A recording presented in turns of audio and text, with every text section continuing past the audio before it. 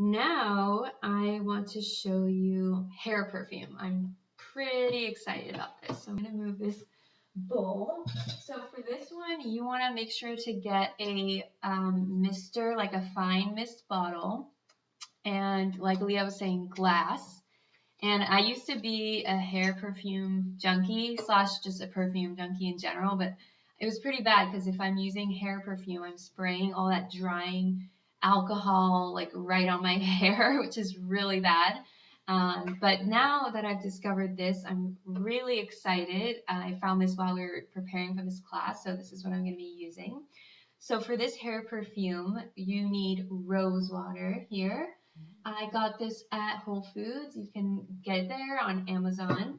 You need a third cup, and I'm going to actually just pour it in here. I think my bottle might be a little bit smaller, so I'm just going to fill it up most of the way and leave some room for the other ingredients and then top it off. So the next ingredient is a teaspoon of vanilla extract. Yum. I know, right? Yum. That's going to be delicious. And this is alcohol-free vanilla from Trader Joe's, so non-drying. Now, I need a... I know you guys can't really see, but I'll show it once it's in there. Um, there's a lot of supplies around me right now, so I'm just finding the logical way to drop this in. Okay, so now it's a little brown here. And this is really cool about the hair perfume because you can customize it based on what you want. So the recipe calls for ylang ylang, rosemary, sandalwood, lavender, and grapefruit oil. If you don't have some of those or you want to sub in your own, you can do that. So I'm going to do um, patchouli. I'm obsessed with patchouli right now. It's a really nice, as you can imagine, like musky perfume kind of smell. And it's great to use in the winter because it boost your dopamine and your happy chemicals. So I've been loving diffusing this to help with, um, you know, the transition to winter. I'm going to do five drops of this. And uh, you can see patchouli comes out really slow also. And it's the oil of um, physicality and loving your body just as it is. So that's the emotional level. And I am going to do rosemary because I really love rosemary. I'm going to add four drops of that, just like in the recipe. Three, four.